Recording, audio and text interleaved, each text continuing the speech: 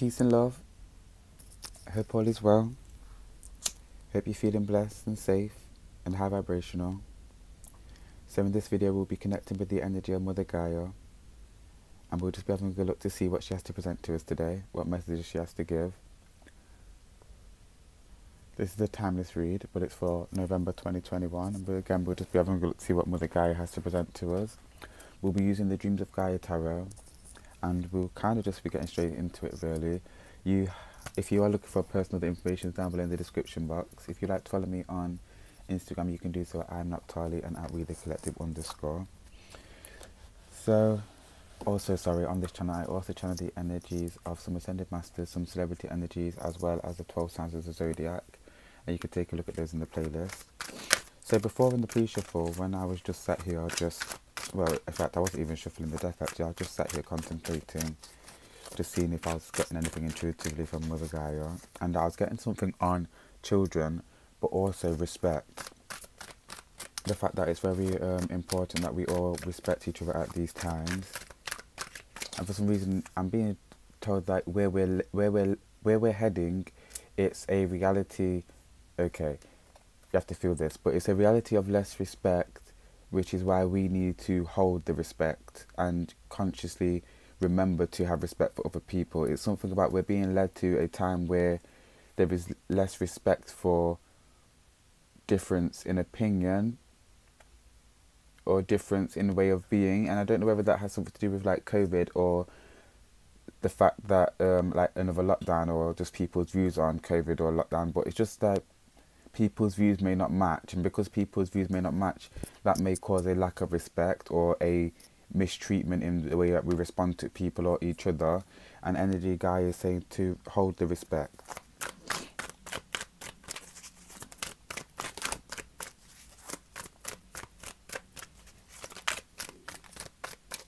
For some reason, she's saying to be like children. Children have a way of um, it's not about being disrespectful, it's just about stating facts or stating what is or just saying what is there. Children do not lie, they're very blunt. And she's saying that you can, um, you don't have to agree with everybody's opinions or views, but you can just state truths. And in you simply stating truth is you being respectful because there's a lack of fabrication, there's a lack of, um, what's the word? Of being like malicious or having an ulterior motive when you're just speaking truth or when you're just stating facts. So seeds, planting seeds, and really what I'm getting is that something's brewing, and it feels like there's a this time that we're speaking of, it's to come.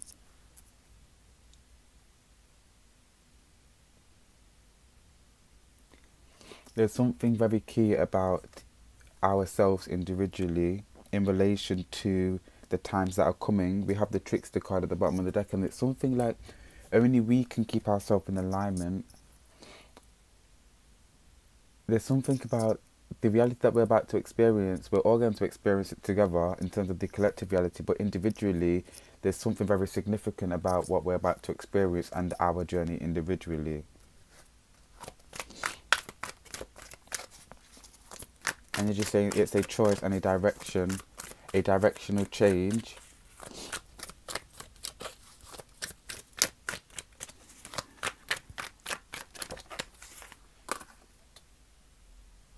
King of Fire.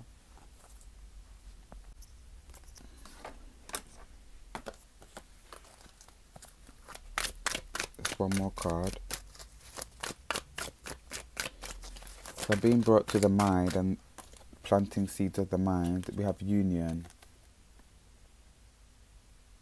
a balancing of the mind, a choice, a directional shift,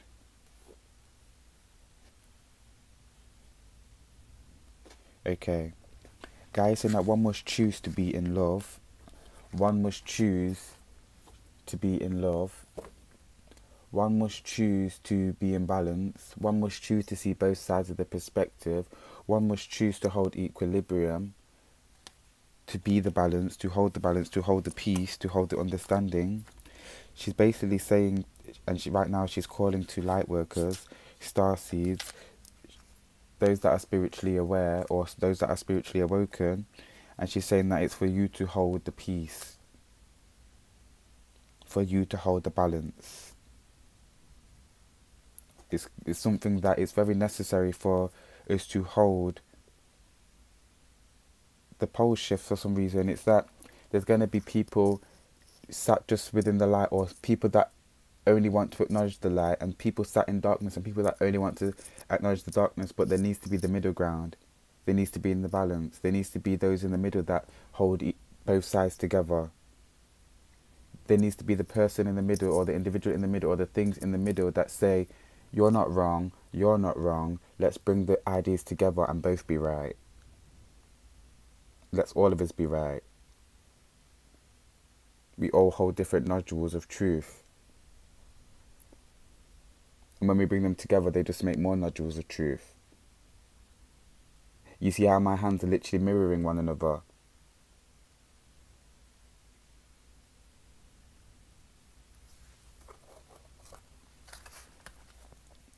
She's saying that the people will come to realize that the truth the truth lies within the lie and the lie lays within the truth. That there is no difference, there is no individuality, there is oneness, and there is segregation, and in the segregation comes individuality, but in oneness is everything, is all, is all of us, all of you. we need to stop searching for difference. And is not saying to search for what is the same, but just allow for what is the same, or to allow what is similar, or to allow that what connects each other to just be. Because what is there, what is for us to connect, what is what is there that is that we are similar is already visible, is already tangible, is already physical, it's the difference that we continue to search for that continues to bring in this energy of separation, of segregation. It's this constant search of what does it mean to be me?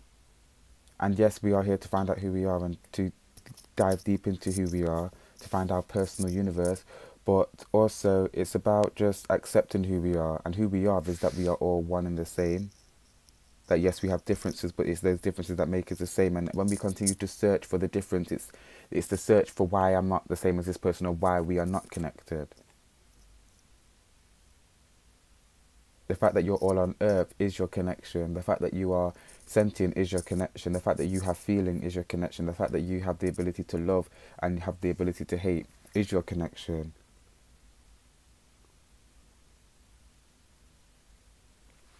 Skin and hair texture and they're even saying that even gender there's a reason for it it's an equation it's down to past lives future life current lives it's down to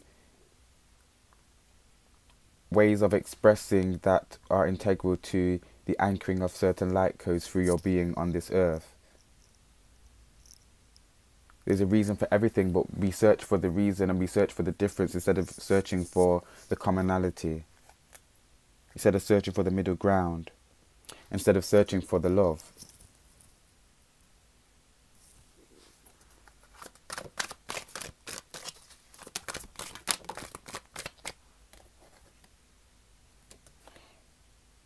Alignment is shift from the outside in or even the inside out.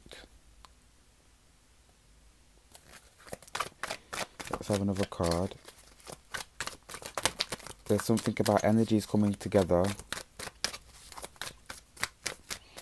Peace as well as chaos coming together. Again, both sides of the spectrum. intellect, knowledge, and wisdom coming together. This is for me seeking guidance, seeking answers from the light.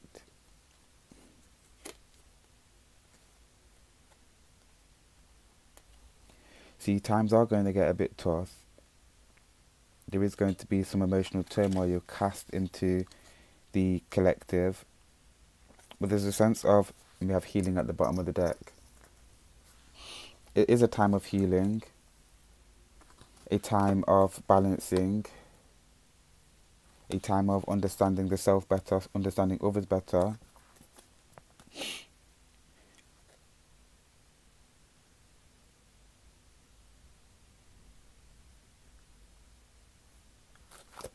Something's happening on the earth. There's going to be a shift, a change, but there's some emotional turmoil, and there's a sense of those that are emotionally intelligent or again spiritually aware or just awoken it's almost a sense that they need to lead. That there's a sense of being followed or being copied or being admired. Trickster energy.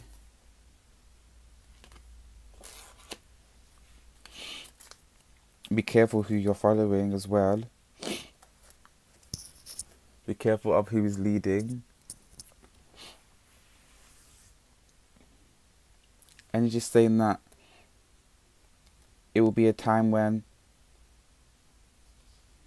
okay when those that are maybe spiritually aware it's not that they're going to be looked down upon it's that they're going to be very much so noticeable visible people are going to see how they're going to react people are waiting for them to react to copy their response people are also waiting slightly on their downfall to see how spiritual, spiritually aware people handle the times that are coming. How they handle their emotions, how they handle their feelings. It's almost that people want to see the cards that you're dealt.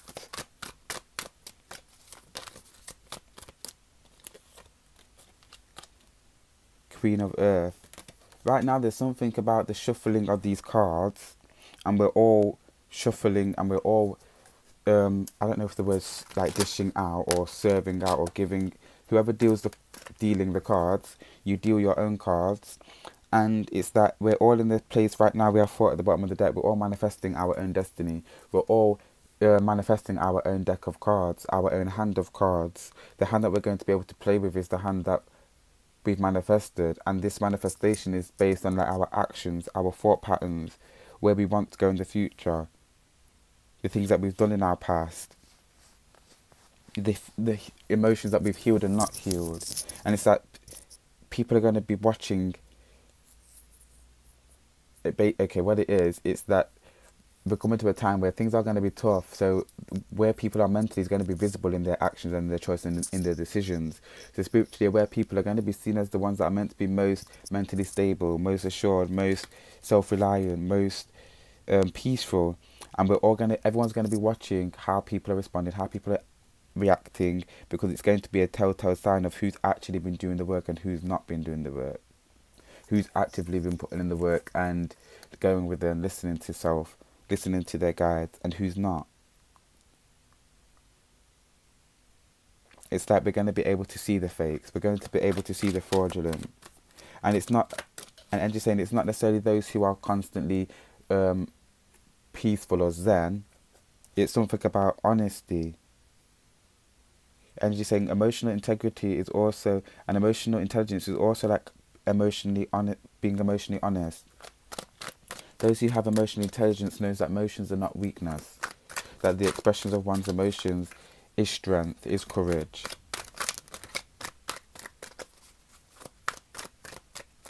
All is not as it seems.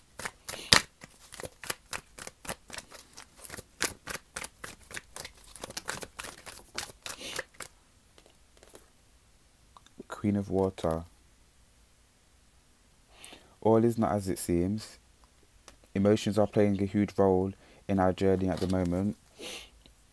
They are dictating, our emotions are dictating a lot of where we're heading on the course of this journey. Definitely.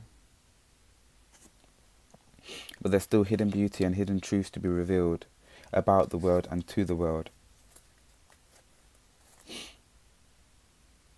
Hidden gems awaiting to be expressed, awaiting to be discovered.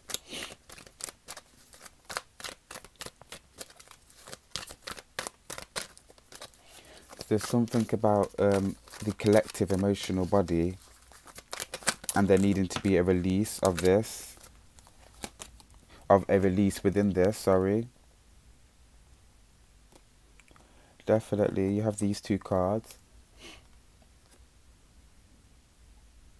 It's almost like this is Mother Gaia. And she's juggling like the thoughts, the emotions, the aspirations of everybody on earth. But there's a block within the, not the heart space, but this is for me more so like the emotion, the uh, representing the emotional body. That there needs to be a cleansing of this.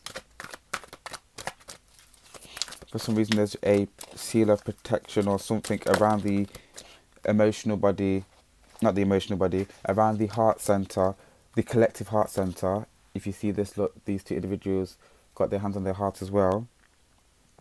But this emotional, sorry, this seal of protection is also around the emo emotions around the heart center.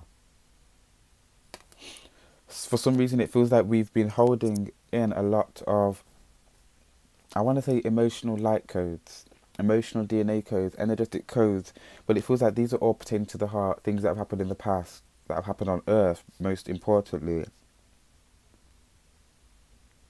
There's something about us all reaching into our heart and connecting to these events of the past that lie within us, that are within our DNA, that need releasing. Like emotional pain. So you have thoughts. Thoughts become things.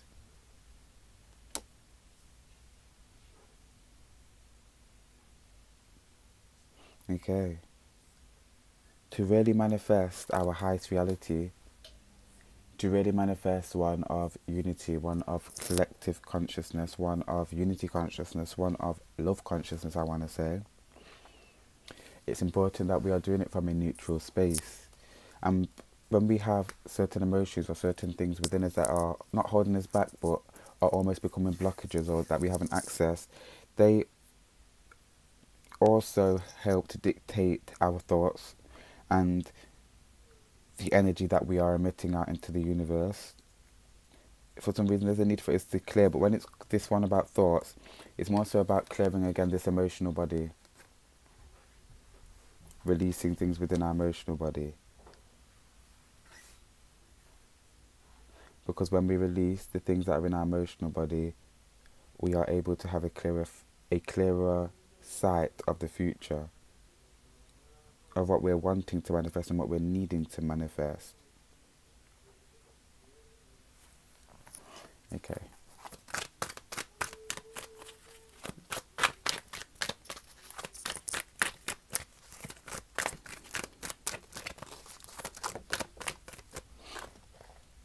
Heaven on earth, or heaven on earth. And this is basically saying, Gaia saying that we can have heaven on earth, we can manifest heaven on earth, but again, one needs to want it, one needs to desire it, one needs to put in the mental effort, the mental energy, because it's mental energy that is manifestation energy. When we're talking about um, thinking about our future and what reality we want, really we want heaven on earth.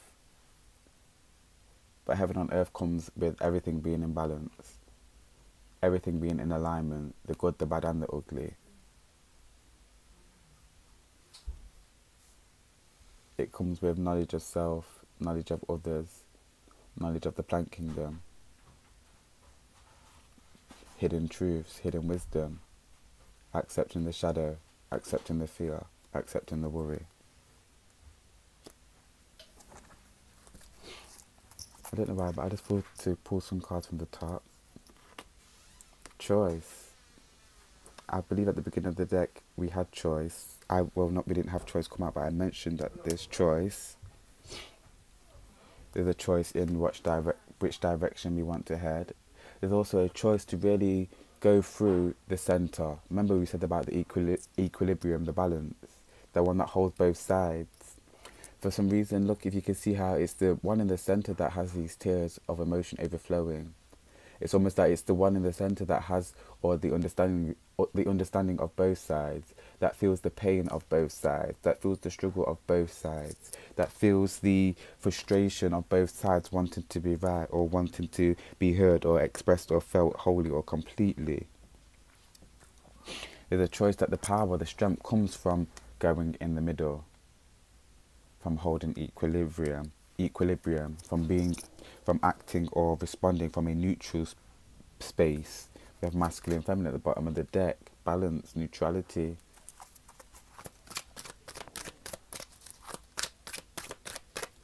Okay.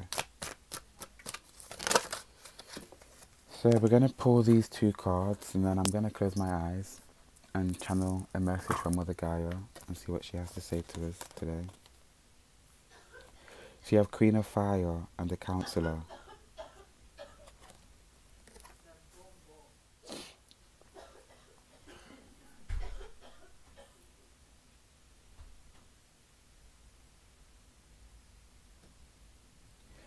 For some reason, I'm being brought to the judge. That the judge, and now I'm here, the jury, the executioner, they're in this position of power and strength, but they're also in this position of vulnerability.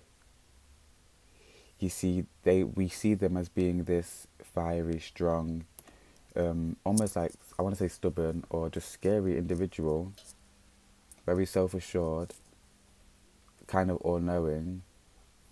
But really, they are this individual. They're the counselor, the individual that's meant to seek balance, the individual that's meant to really look at things from a neutral perspective, not from a perspective of wanting to prosecute or to like punish somebody. It's a position where they have to be connected to their mind, they have to be connected to their heart, and they have to sometimes choose which one to listen to. But really, when it's coming to the counselor, it's about them being in balance, about them being in neutrality. That what's on the outside does not always reflect what's happening on the inside. That this person may seem to be cold and wicked, yet they are having to really listen, to really be connected to their mind and their heart at the same time, to connect to their feeling, but also to connect to like logic and to just law. And, and just bring it back to choice again. That the power is listening to both sides, is feeling both sides, is hearing both sides, and then making a decision, then making a choice, then moving forward. So there's a need for us to accept both sides of the scale, positive, negative, light and dark, the good the, the good people, the bad people, the scary moments, the happy moments, to bring it all together, to become whole, to make decisions to move forward. Okay. She's saying stop with the procrastination. You know where you're moving, you know where you're going, just do it. Okay. So I'm going to close my eyes and just see what message Mother Gaia has to present to us. Peace and love.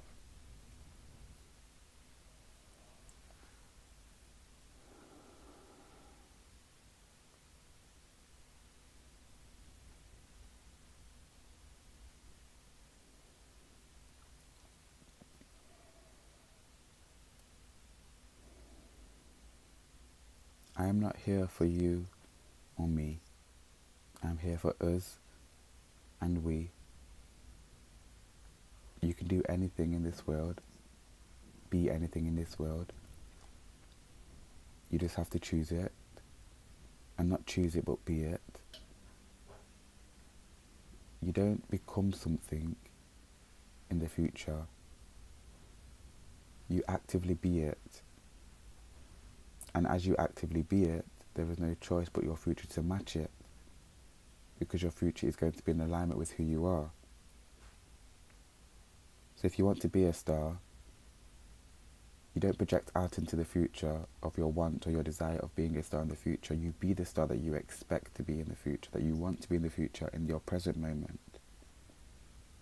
And as soon as you become that, as soon as you embody that, your future will continue to present that to you. Your future will continue to be in alignment with the star that you are. It's important to let go of the past while holding onto the lessons of the past. It's important to go with the flow and not be a dictator of your future.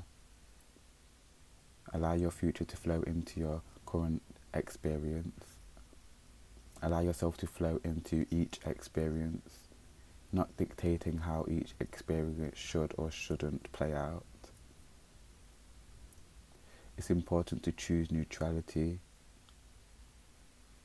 to res- respond from a place of being centered, grounded, and balanced.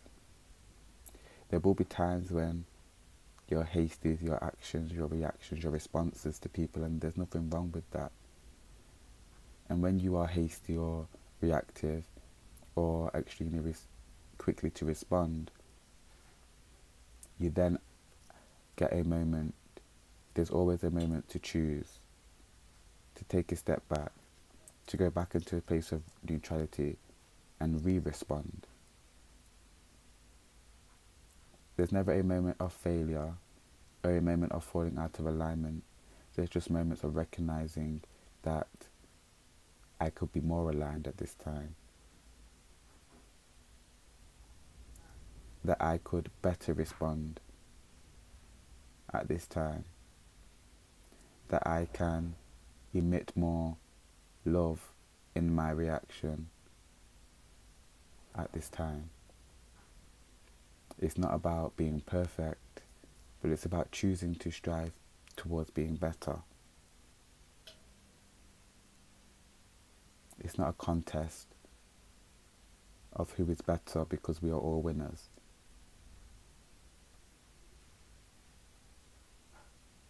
it's not a contest of who is the biggest loser because throughout life we all fail. But it's about choosing to continue to move forward. It's about choosing to continue to expand. It's about choosing to continue to grow. And grow does, growth and expansion doesn't always mean light. In growth and expansion is dark. Seeds are birthed from darkness. The universe birthed from darkness. The light comes from the dark. The dark comes from the light. The child is born from darkness into light. It's about choosing to hold love in your heart. It's about choosing to understand. It's about choosing to try to understand. It's about choosing to come together. It's about choosing to be happy. It's about choosing to learn more about the self. It's about choosing to meditate. It's about choosing to eat healthy. It's about choosing to just be yourself. Life is about choice. Not good or bad choices, but maybe positive or negative choices not positive or negative choices, but maybe high vibrational and low vibrational choices. And maybe not even high vibrational choices and low vibrational choices. Maybe life is just about choices. It's about choices, making choices, taking action, and observing our actions, observing the aftermath or the outcome of certain actions and whether we should take those actions again or whether we should adjust those actions. Because again, there's always a time when we can add more love to our actions, where we could add more understanding to our reactions, where we can react from a place of higher understanding or higher overstanding. Life is about choice. You had choice to come here You had choice to click on this video, you had choice to listen to this video, you had choice to continue to be here in this moment. So now that you know that life is all about choice and that you get to create your life and that you are the one that chooses, choose love in each moment, choose understanding in each moment, choose togetherness in each moment. Choose authenticity in each moment. But always choose yourself. Peace and love. Ashe.